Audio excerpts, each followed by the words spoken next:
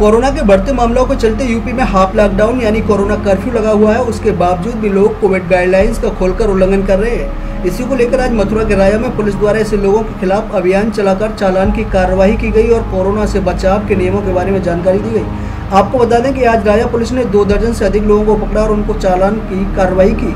कस्बा राया में लॉकडाउन के चलते आज राया पुलिस द्वारा चोरी छिपे कोविड गाइडलाइंस का उल्लंघन कर दुकानें खोलकर बैठे दुकानदारों के खिलाफ कार्रवाई की गई और उनका चालान किया गया। इसके बावजूद भी लोग बिना मास्क लगाए बाजारों में बेवजह घूम रहे हैं, ऐसी शिकायतें पुलिस को लगातार मिल रही थी, जिसको लेकर थाना प्रभारी निरीक्षक उत्तम चंद पटेल और कस्बा प्रभारी अजय अवाना ने सख्त रवैया अपनाते हुए कस्बे के Katra Bazaar, Retiya Bazaar, mart road, Hathras road JD plaza, Sadabad road, Baldev road सहित प्रमुख बाजारों में अभियान चलाकर बेवजह मार्केट में घूम रहे और बिना मास्क घूम रहे लोगों के खिलाफ चालान की कार्रवाई की और सख्त हिदायत दी गई।